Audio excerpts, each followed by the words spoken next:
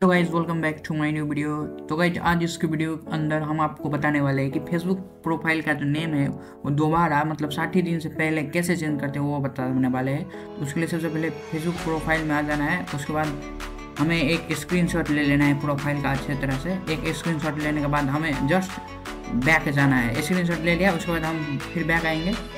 और बैक आने के बाद आपको इधर थ्री डॉट लाइन देखेगा तो उसमें क्लिक करेंगे। उसमें क्लिक करने के बाद हमें थोड़ा स्क्रॉल करना है, उसके बाद हेल्प एंड सपोर्ट में क्लिक करके हेल्प सेंटर को सिलेक्ट करना है। और help select help centre select करने के बाद आप लोग कुछ इस तरह का इंटरफेस देखेगा। तो उसके बाद इधर हमें सर्च करना है। चेंज नेम करके सर्च करना है। इधर चेंज नेम जैसे ही सर्च करेंगे तो आपको इधर फ़र्स्ट में जो टॉप सेक्शन आएगा, उसमें क्लिक कर देना। उसके बाद how to change your name on Facebook में क्लिक करना है। जैसे ही इसमें क्लिक करेंगे तो आपको कुछ इस प्रकार का इंटरफेस आएगा तो फिल इन दिस फॉर्म में हमें क्लिक करना है। जैसे ही मतलब हम फिल इन दिस फॉर्म में क्लिक करेंगे तो आपको कुछ इस प्रकार का फॉर्म आ जाएगा।